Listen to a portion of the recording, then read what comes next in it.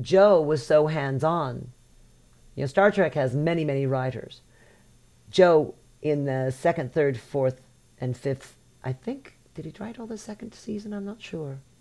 I'm not sure if he started writing all of the episodes until the third season, but the fluidity and, and connection of those scripts and the fact that he was sitting in his office every day right there, uh, that was very uh, different than, you know, you'd work on Star Trek and you'd have the suits, you know, the guys that were the money guys, and they'd come down and everybody kind of tense up a bit. Nope, you know, somebody from the head office is in, you know, that kind of thing. Mm. You don't have that over at Babylon 5. Mm. You feel you can walk into your executive producer and say, you know, I have a, a question and I'm not really sure what's going on. Can't do that at Paramount. There's a hierarchy and you've got to go through it. So that's, it is different.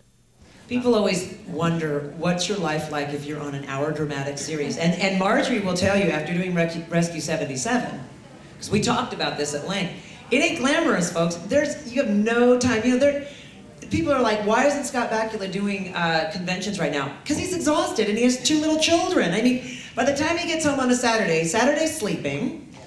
That's what it is. Saturday gets fall into bed and die, and Sunday is with his family. And you know, you could throw. I don't care how much money you throw at somebody, your time becomes extremely precious to you.